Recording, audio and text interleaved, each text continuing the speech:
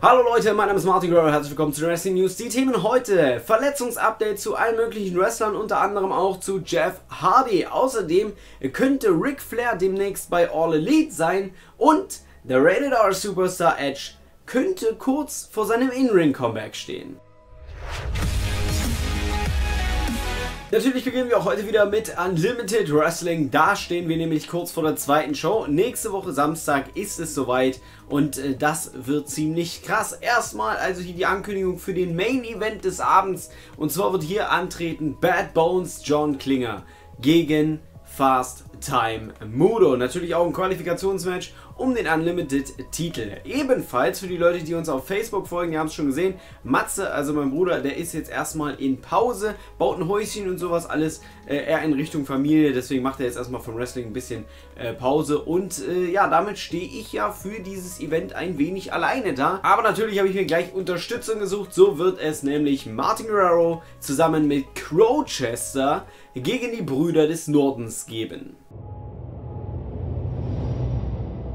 Dann habe ich euch in der letzten Newsausgabe erzählt, dass Okada einer der Fackelträger für die Olympischen Spiele und das Olympische Feuer sein wird. Aber er ist nicht der einzige Wrestler, der dieser Ehre zuteil wird, sondern der Great Muta wird das Ganze ebenfalls machen. Also wieder ein Wrestler, der das Ganze hier vertreten darf.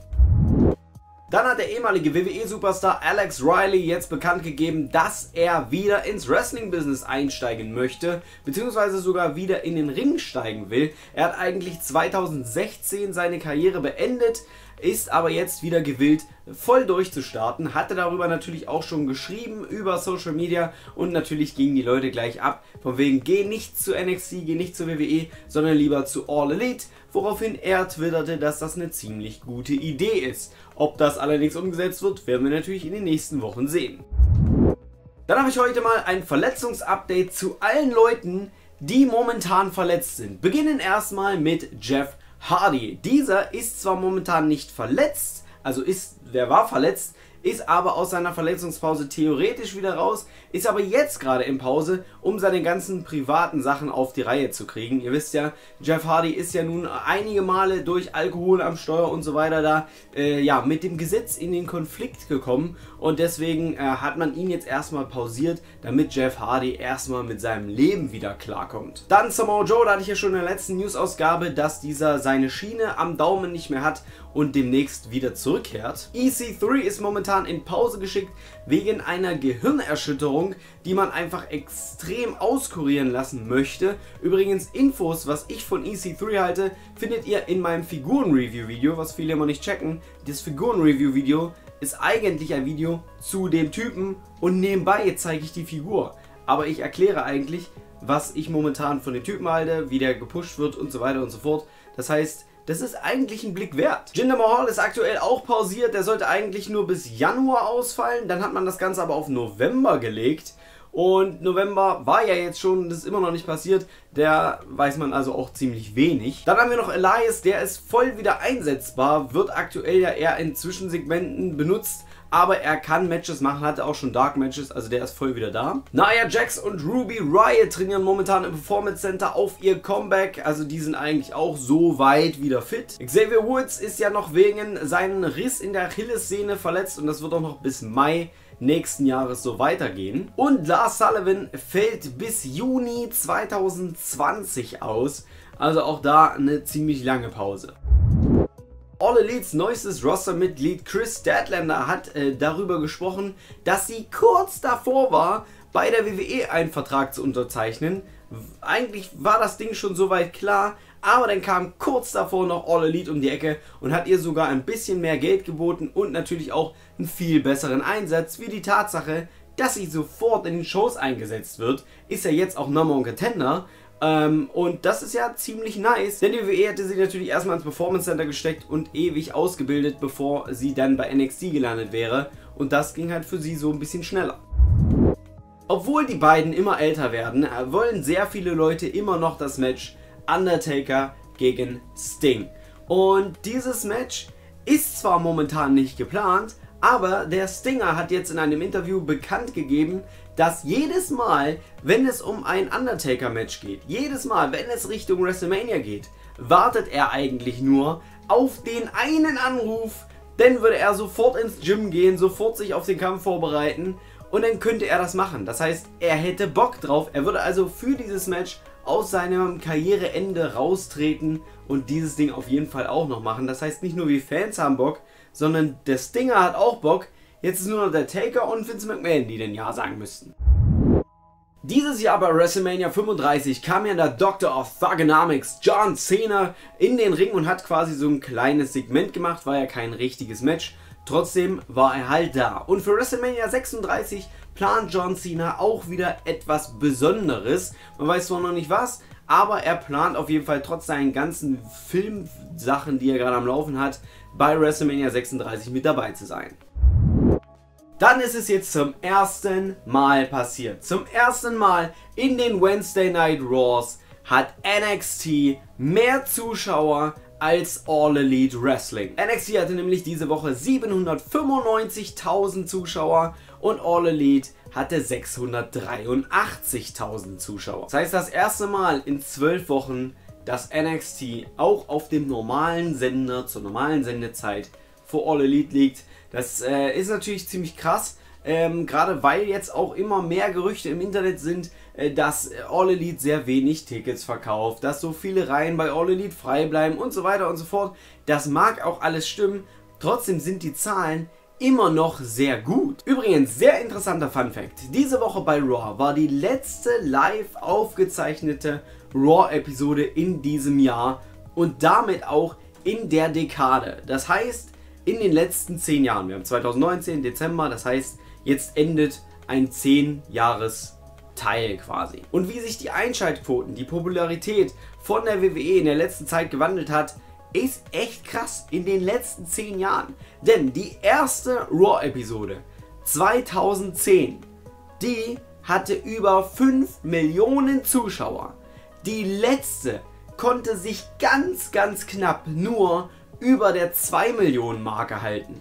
Was da einfach mal für ein Abfall passiert ist in den letzten 10 Jahren, ist extrem krank. Natürlich haben sich auch viele Zuschauer aufs Internet verlagert, aber ein Haufen ist halt in den letzten 10 Jahren einfach abgesprungen. Übrigens auch mal recht interessant, wie sind eigentlich die Einschaltquoten in Deutschland von Raw und SmackDown? Raw hatte letzte Woche 240 und die Woche davor 270.000 Zuschauer und SmackDown hatte letzte Woche 180.000 und die Woche davor 220.000. Das heißt, wir befinden uns aktuell in Einschaltquoten von 270 bis 180.000.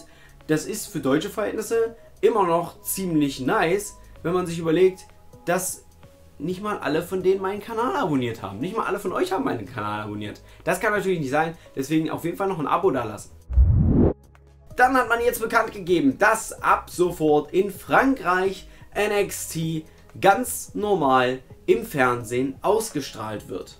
Und das kann uns ja theoretisch egal sein, aber NXT im Free TV in Frankreich ist ja höchst interessant. Ob man das jetzt als Anstoß nimmt, um NXT vielleicht auch noch in anderen Ländern ins ganz normale Fernsehen zu bringen, ist natürlich nicht bekannt. Trotzdem könnte das natürlich gemacht werden. Auch in Deutschland bleibt damit die Frage, wird man NXT demnächst vielleicht irgendwann auch in Deutschland vielleicht auf Pro7 Max oder so gucken können. Denn eigentlich wäre es schon ganz geil.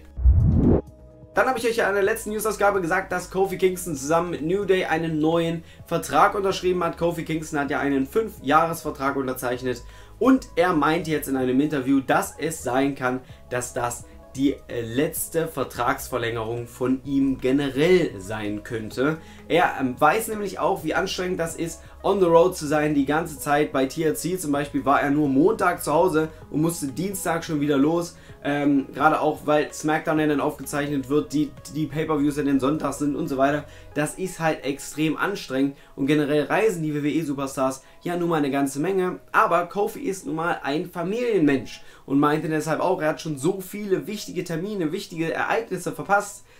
Das ist eigentlich schwierig, alles unter einen Hut zu bringen. Deswegen meinte er jetzt, es könnte also sein, dass in fünf Jahren bei ihm denn so langsam Ebbe sein würde, beziehungsweise geht ja jetzt bei der WWE, dass man den Vertrag dann langsam runtersetzt und die ganzen Auftritte auch ein bisschen runterschraubt. Dann nochmal ein Update zum Vorfall von Dash Wilder letzte Woche bei SmackDown, wo dieser ja bei seinem Entrance gestolpert ist. Das Ganze könnte man jetzt auch nehmen, um aus The Revival ein komplettes Comedy-Gimmick zu machen. Das ist natürlich nicht ganz so klug, da The Revival in-ring-mäßig ziemlich gut sind, aber es ist nicht das letzte und erste Mal, dass sowas passiert ist. Wir könnten also jetzt kurz davor stehen, dass man The Revival komplett auf die Comedy-Schiene bringt. Deren Verträge laufen ja noch ein paar Monate und alle wissen schon, die werden nicht bei der WWE bleiben. Also könnte man entweder die noch so lange benutzen, wie man sie hat, oder man könnte sie auf die Bank schieben, wo ja viele andere auch sitzen, oder man macht sie quasi zu Witzfiguren, was hier einfach passieren kann. Ehemaliger UFC-Fighter Kane Velasquez hat ja bei der WWE unterschrieben und hatte aber bisher auch nur ein Match bzw. noch ein zweites bei einer mexikanischen Hausshow. Jetzt äh, könnte aber beim Royal Rumble sein In-Ring-Comeback stattfinden, denn so ist es aktuell geplant. Also bis zum Rumble erstmal nichts von Kane Velasquez, aber dann beim Rumble könnte er eingesetzt werden. Dann habe ich noch was zu Ric Flair, denn Ric Flairs WWE-Vertrag läuft jetzt aus. Also jetzt noch die nächsten zwei Wochen und dann ist Ritze. Und klar, Ric Flair ist kein In-Ring-Talent mehr, obwohl er von ärztlicher Seite Bums nehmen dürfte. Ähm, ja, wird er dafür nicht benutzt. Und äh, ja, ist ja auch kein richtiger Vollzeit-Wrestler mehr, was ja auch völlig in Ordnung in seinem Alter ist. Aber er ist immer noch eine riesen Wrestling-Legende. Und äh, ja, Ric Flair ist auch sehr gut befreundet mit der Khan-Familie, die nun mal jetzt All Elite besitzt. Das heißt, wenn die WWE es nicht schafft, den Vertrag von Ric Flair zu verlängern, also den Legendenvertrag, und ihn halt öfter mal hier und da zu zeigen, könnte es sehr gut möglich sein, dass Ric Flair in Richtung All Elite unterwegs ist. Da könnte er als Manager fungieren für irgendeinen Superstar oder von mir aus auch für die Show, was ja auch nicht mehr so schlecht wäre. Und ja, so äh, könnte es also sein, dass wir gleich wieder eine große Wrestling-Legende denn bei All Elite sehen. Dann eine Riesenmeldung und extrem krass. The Rated R Superstar Edge hat einen neuen WWE-Vertrag unterschrieben, der beinhaltet, dass Edge auch im Ring zurückkehren kann. Das heißt, dass die WWE theoretisch ihm von dieser Verletzung, die er hat, von dieser Nackenverletzung, die auch Daniel Bryan hatte, dass er theoretisch jetzt wieder einsetzbar wäre. Vertragsmäßig ist dafür also alles gegeben. Edge könnte jederzeit zurück in den Ring steigen. Das heißt natürlich noch lange nicht, dass das auch passiert. Aber dass es theoretisch möglich ist, ist eine ziemlich krasse Sache.